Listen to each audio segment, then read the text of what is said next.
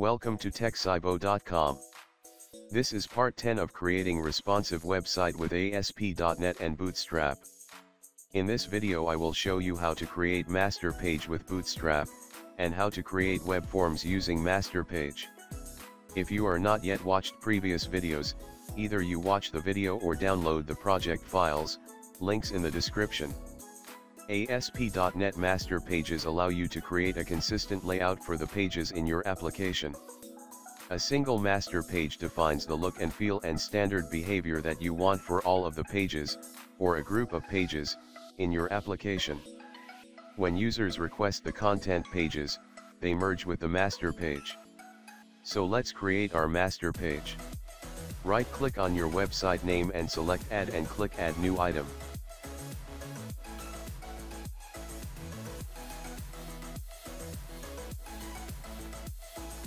Select master page. Name your master page.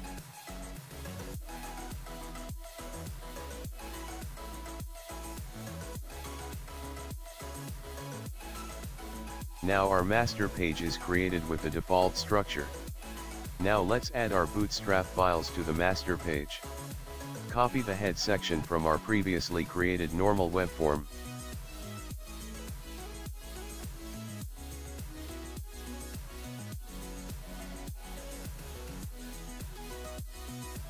Replace the head section of master page with this.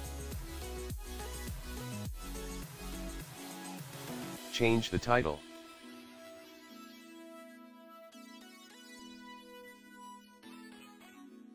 Now add our navigation bar.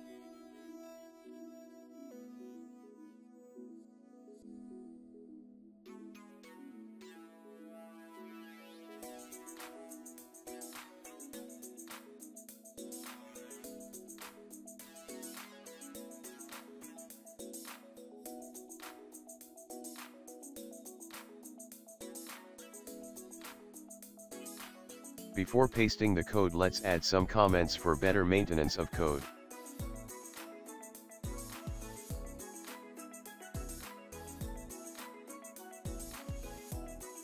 Then add our footer and JavaScript files.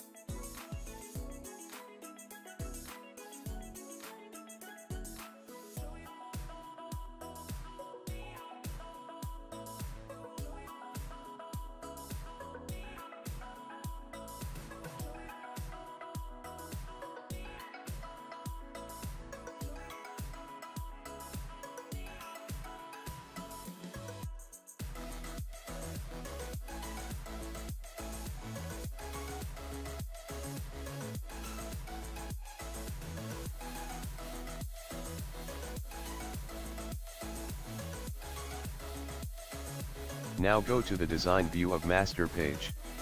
Now everything added successfully. In the source mode, you can see the content placeholder. A content placeholder control defines the region for content in a master page, and renders all text, markup, and server controls from a related content control found in a content page. That is content placeholder display contents from web form that are associated with the master page. Let's see it in action. So let's create a new web form.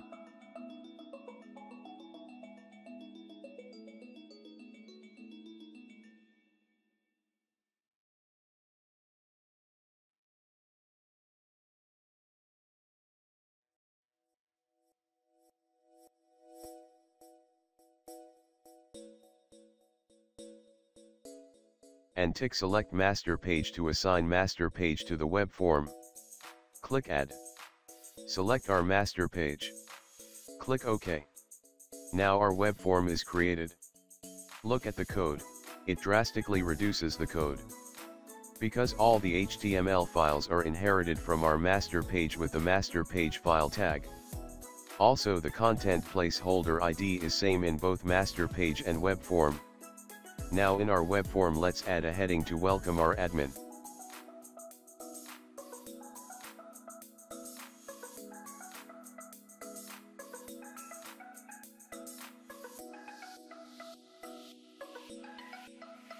Now let's see the action in web browser. Look at that, our web form inherits the style from the master page.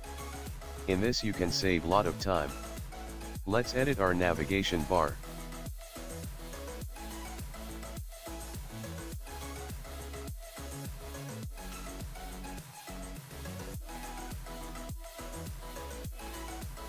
Now make our content placeholder in container class.